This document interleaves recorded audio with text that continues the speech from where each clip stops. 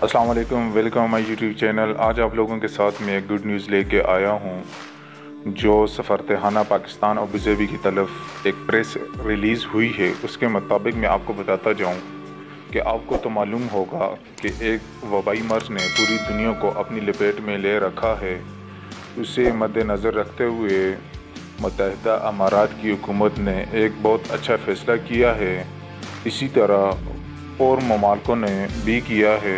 تو میں آپ کو مزید ڈیٹیل بتانے سے پہلے آپ سے میری ریکویسٹ ہے کہ آپ نے اگر میرا یوٹیوب چینل سبسکرائب نہیں کیا تو آپ اس کو سبسکرائب کریں، ساتھ بیل آئکن کے بٹن کو دبائیں تاکہ میری ایسی معلوماتی ویڈیو آپ کو ملتی جائے۔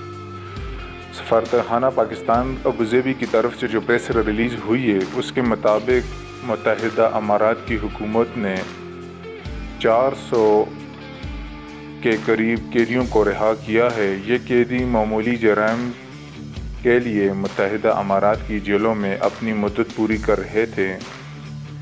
ان قیدیوں کو متحدہ امارات نے رہا کیا ہے اور یہ قیدیوں کو متحدہ امارات کی حکومت کے زیر اہتمام دو خصوصی پروازوں پروازیں لے کر پاکستان پہنچیں گی۔ ان میں سے ایک فلائٹ دبئی پرواز قیدیوں کو فیصل آباد ایئرپورٹ پہ اور دوسری باچہان ایئرپورٹ پشاور پہنچے گی۔